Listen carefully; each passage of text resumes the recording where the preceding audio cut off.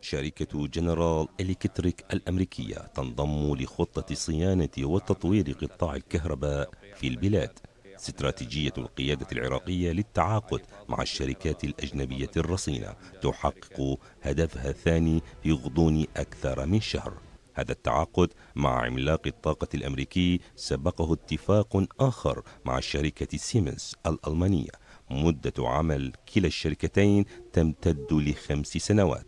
وتشمل تنفيذ عدد من محطات الطاقة فضلا عن إنشاء مراكز تدريبية للعاملين في قطاع الكهرباء. الاتفاقية آه، حاليا إحنا وضعنا لها بحدود ال 500 مليار للمرحلة الأولى آه، أدرجت ضمن راح تدرج ضمن خطة 23 آه، وراح تكون مراحل التنفيذ مالتها تمتد لخمس سنوات. جزء من هذه المشاريع راح يكون عمرها سنة والجزء الآخر يعني سنتين إلى ثلاث سنوات. إذا أكثر من 500 مليار دينار عراقي لتمويل أعمال جنرال إلكتريك والمختصة بزيادة كفاءة عمل وحدات إنتاج الطاقة.